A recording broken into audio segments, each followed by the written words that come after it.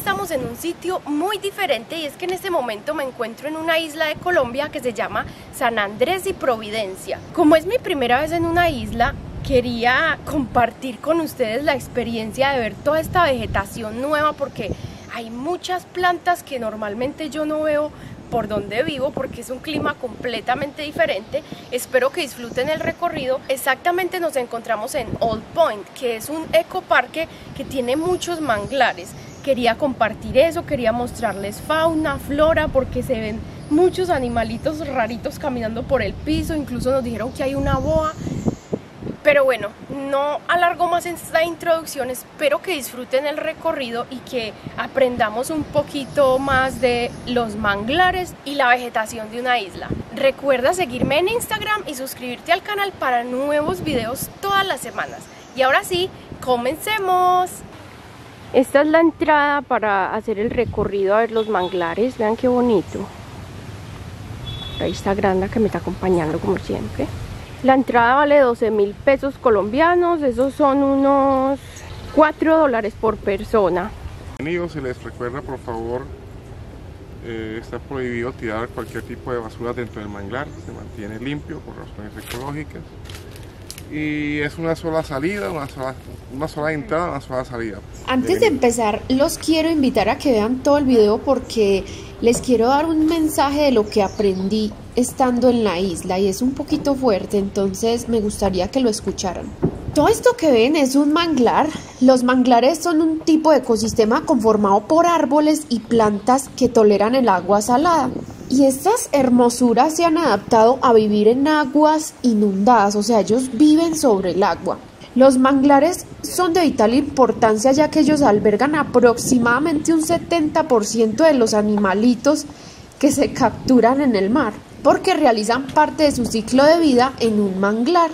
Y por mencionar algunos de los animales que se encuentran en los manglares, tenemos muchas especies de aves, migratorias como residentes, reptiles, crustáceos, moluscos y entre ellos un gran número de especies que se encuentran en peligro de extinción.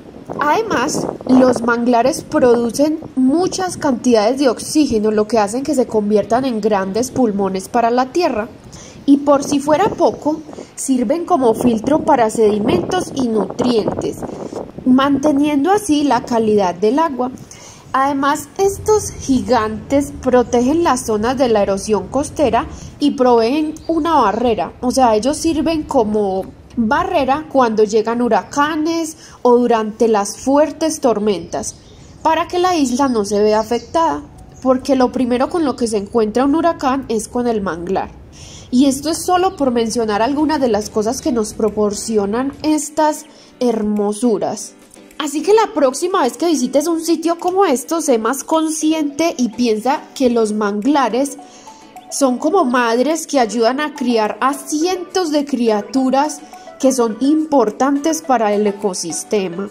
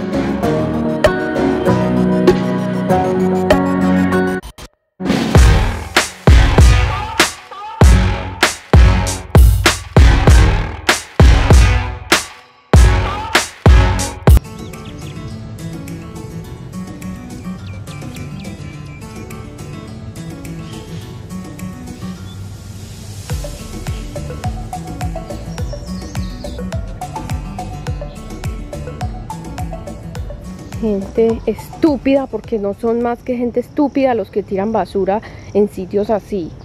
Qué pena mi lenguaje, chicos, pero no saben lo que me enfurece ver basuras en las playas, sabiendo que hay un montón de canequitas por ahí para que uno las deposite ahí, no se vayan directamente a la playa o en sitios así. Estos fueron los manglares, espero que les haya gustado el recorrido, pero aquí no acabamos, vamos a ir a ver un par de cositas más y les quiero mostrar unas suculentas que crecen salvajes aquí en este calor.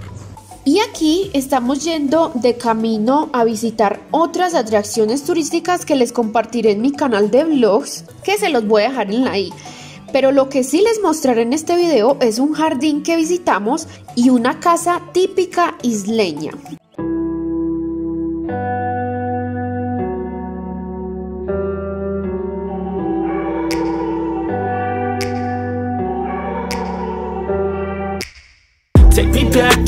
Place where I felt at home. Take me back to a day when we weren't alone. Take me back to an age when the world felt small. Way back before we blew it all. Take me back to a place where I felt at home. Take me back to a day when we weren't alone. Take me Con este cactus gigantesco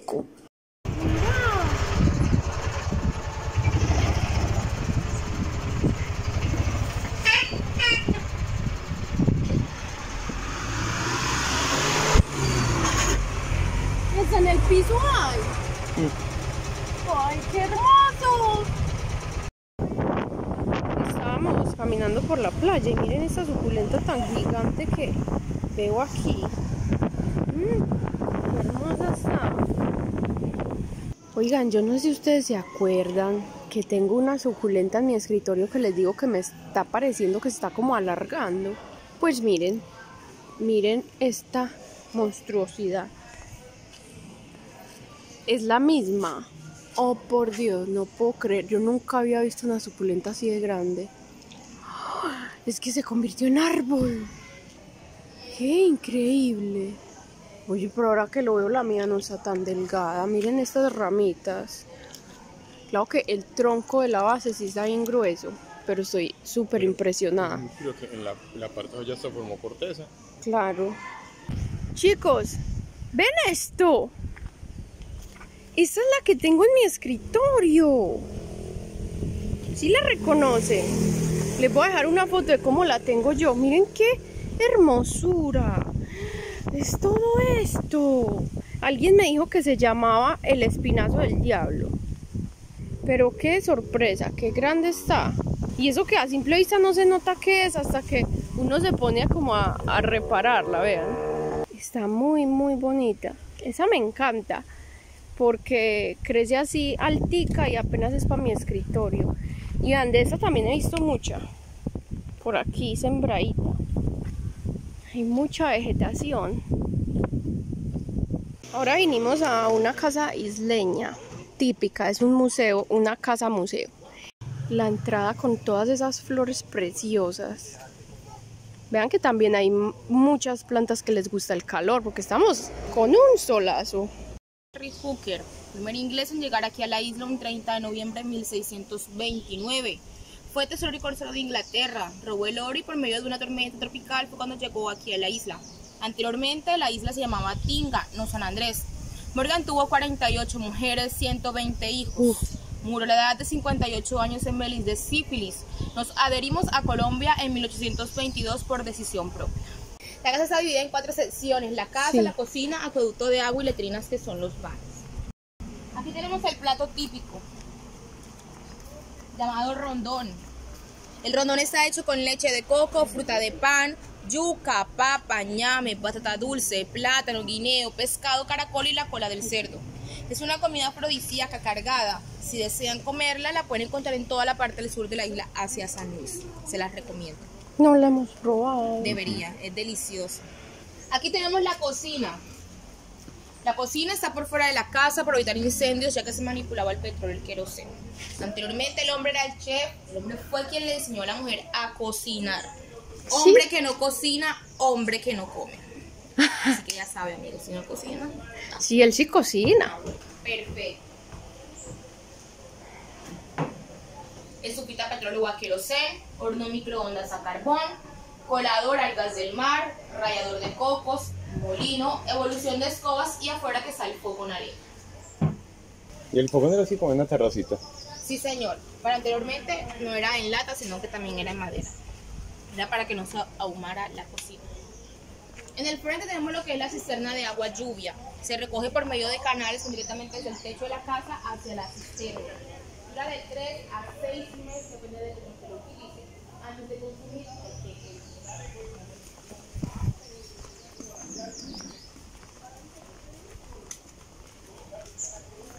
Letrinas, baños antiguos, por si desean. Se hacía un agujero a cierta profundidad, que era donde se las necesidades. Al terminar se le echaba cal y se sellaba. Después de cierto tiempo el baño se rodaba y servía como abono. No existía el papel higiénico. Utilizaba la mata de plátano seca o las pelusas del coco. Así que si desean improvisar, pueden aprovechar. es gratis. Agarra lo que tiene. ¿Ah? Agarra lo que se tiene por ahí. Ah, pues la mano. Qué bonita. Familia, la casita está hecha de madera de dos plantas sobre pilotes, ya que solía llover bastante y traía húmeda la casa. Esta casa tiene 110 años de construida, 50 años restaurada y 16 años siendo guía turística. Es una casa privada, le pertenece a la familia Garnica Smith, viene de generación en generación. Ah, yo creí que la habían construido especialmente para turistas, solo que la restauraron. Está restaurada. Ay, ve. Aquí no existía la electricidad, utilizaban lámparas a petróleo o a queroseno. Cuarto de la pared. El interior está lo que es la ponchera, la bacenilla, el baldecito y el acuamario. Era con lo que la mujer se hacía. Mientras que la mujer se estuviese haciendo y cambiando, el hombre no podía estar. Así que usted ya sabe que le toca. Tan educados. Sí, ya no es como ahora. Sí. Miren, ella, ella era de la dueña. Ella es la dueña de la casa hoy en día. Cuarto las suegras. La suegra era la encargada de vigilar el comportamiento de los niños. Se turnaban para poder venir. Solían tener de 6 hasta 14. Si los niños se comportaban mal, más tiempo duraba la suegra dentro de la casa. Y ese era el traje de la suegra. Sí, era utilizado anteriormente para la iglesia las fiestas. Hoy en día lo utilizamos nada más para las danzas. Entonces es la mamá de la señora. Exacto. Miren. Ah, mira la máquina. Qué bacán. Este es el espacio de los niños y está vuelto como sala de exhibición. En la isla nosotros manejamos tres idiomas, español, inglés y criollo. El criollo es la deformación del inglés, cambiamos acento, quitamos palabras y hablamos más rápido para que nadie me entienda. Lo hemos notado, ¿cierto? La primera religión que existió fue la bautista, luego llegó la adventista, la última la católica. La fuerte sigue siendo la bautista. En este cuadro que está aquí son todos los apellidos isleños existentes en la isla desde la época hasta ahora. Se vivía del coco, el algodón, las frutas y la pesca. Ah, eso es de una, de una silla de un caballo. Sí, esa es la montura del caballo, está hecha en mata de plátano. Siguiente cuarto está lo que es el tocadisco, la vitrola, antiguas planchas a carbón a querosén, balanza, candelabro, telex, primera forma de comunicación aquí en la isla. Nosotros fuimos la primera isla en tener luz propia por medio de una planta. Sí. Sí. Ahí está la máquina de escribir. Espuelas que eran utilizadas amarradas a los pies para poder subir las palmeras de coco escalando. Medidor de coco. Si el coco pasaba por ese agujero no servía. Si crecía grande era el que se mandaba a vender. Ahí está la antigua plancha de cabello, vainilla caliente. Se calentaba carbón, se aplicaba aceite de coco, se pasaba y era como quedaban lisas. Y la lavadora manual que tocaba restregar. Afuera es el balcón, es el lugar más fresco de la casa con vista. ¿Usted es de aquí? Sí, señora. No tiene acento. ¿Cómo así? Acento isleño no tiene. Ah, porque mane- manejo más el español. ¿Usted sabe cómo se llama ese árbol? Acacio. Lo he visto por toda la isla, muy lindo. Ah, miren. Quitos. Ay, qué bonito se ve. Mira, allá arriba el techito. Muy hermoso. Y el jardín. ¿Cómo era un jardín típico de la isla? Así como este. Flores por todas partes. El, el espacio siempre era bastante grande por la cantidad de niños que tuviesen, que tuvieran ese espacio donde poder jugar, ya que anteriormente nada más se visitaban los domingos. Y el tuna. El tuna sirve para las ensaladas. ¿Sí? Sí. ¿Y cómo lo Se corto? come. Entonces le quitan las pullitas que tiene, se pela. Y lo que queda es lo que uno hace la, la ensalada. Y vean este. Se nota que se pegó una florecilla hace poquito. Miren qué grande está, qué hermosura. Y ese es el que ya dice que se come para ensaladas. Ese es un lobo de... No, pues es un roco. Ay, se. ¡Ay! ¡Oye, gordo! Miren qué bonito. Aquí era donde sembraban como una huertica. Vean. Muchas gracias, Luisa. Estuvo muy chévere el recorrido. ¿Te gusta? Y por último, vinimos a este parque jardín. La verdad no sé qué es porque en la entrada ni siquiera dice, pero vean qué hermosura. Me encanta que las plantas tienen sus nombres. Por ejemplo, esa es una Enana. Ixora enana.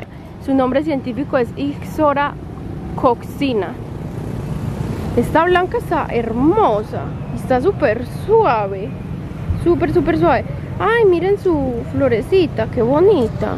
Y vean, ahí tiene el nombrecito. Ah, hierbabuena, pero la pobre hierbabuena creo que se les murió. Albahaca verde, albahaca morada. Está muy bien cuidado. Vean más de... ¡Ay, esta es una corona de espinas! Oh, no lo creo. ¡Ay! Aquí sí hay la flor del desierto, veanla ahí. Es esa. Y también al lado tienen la corona de espinas. Oigan, en Medellín no he conseguido esa flor del desierto. Porque como no es un desierto, aquí sí es un clima como más caluroso. Qué hermosura. Y miren qué montón de abejitas están ahí felices. Aquí dice corona de Cristo, Euphorbia mili. Pero esta es más pequeña. Esta es mini. Ese está muy precioso.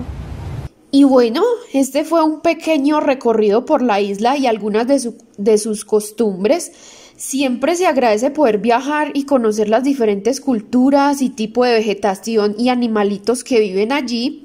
Aunque me gustó venir a la isla, no creo que regrese. La isla de San Andrés Providencia y Santa Catalina está sobrepoblada y casi no hay recursos naturales. La isla tiene una extensión de 26 kilómetros cuadrados y una población de más de 70 mil habitantes. ¿Pueden creer eso? 70 mil habitantes viviendo en una isla de 26 kilómetros cuadrados. Y no ayuda el hecho de que todos los días llegan a la isla 3.000 turistas. Y además, para entrar a la isla hay que pagar un impuesto por persona de 112.500 pesos. Estos son unos 37 dólares más o menos. O sea, saquen cuentas, 3.000 personas diarias ingresando a la isla, cada persona paga de 112 mil pesos. Es un, un platal impresionante que le llega a la isla mensual que supuestamente iban a ser destinados para la conservación y el mantenimiento de la isla, pero el gobierno, como cosa rara, se está robando casi todo el dinero.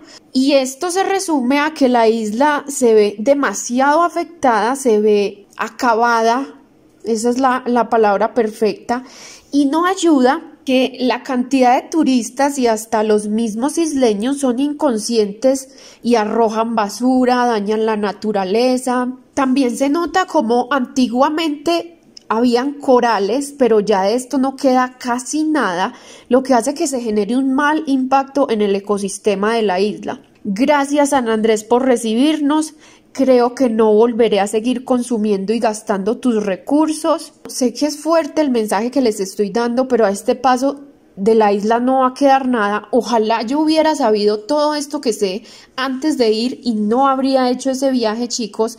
Pero me enteré de todo esto fue estando en la isla, viendo las condiciones y investigando una vez que llegué aquí a Medellín. Recuerden cuidar la naturaleza, gracias a ella es que los humanos podemos vivir y me parece que la damos por sentado. Bueno chicos, ya no los pongo más pensativos a ustedes también, pero de verdad me afectó ver cómo tratan la isla y quería expresar y utilizar mis seguidores para dar ese mensaje de que cuidemos la naturaleza, no la demos por sentado, es muy importante y me parece que la gente no es consciente, aún no es consciente de todo lo, el daño que le estamos haciendo. Por eso es que me gustan tanto las plantas, los animales, yo trato cuidar lo más posible, sembrar lo más posible y eso es lo que les quiero dejar con este video. Compártanlo por favor si creen ustedes también que la gente debería ser más consciente del cuidado de la naturaleza. Y antes de irme quería leer el comentario con más me gusta del video anterior, es el de Mari Cruz. Ella nos dice, like si te gustaría que Candibú te salude. A mí me encantaría, regálame un like porfa. Saludos desde Guatemala. Qué bueno ver personitas de Guatemala por aquí. Saludos Mari Cruz. Muchas gracias por comentar. Saben que leamos otro.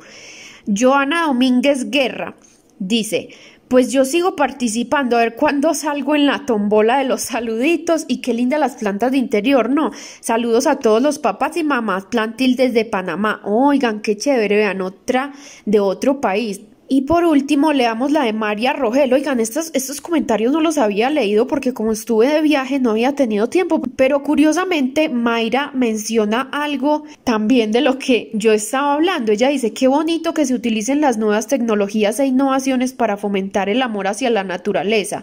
Saludos Candy, apóyenme con un like, porfa. Vamos, deditos arriba si amas la naturaleza. Así es, Mayra, esa es mi intención con todos estos videos que hago. Si no nos ponemos las pilas ya entonces cuándo, ¿cierto? Saludos a Mayra. Muchas gracias por ver mis videos y nos vemos prontito. El siguiente es el de trasplantando las suculentas gigantes. Se me cuidan, los quiero, chao.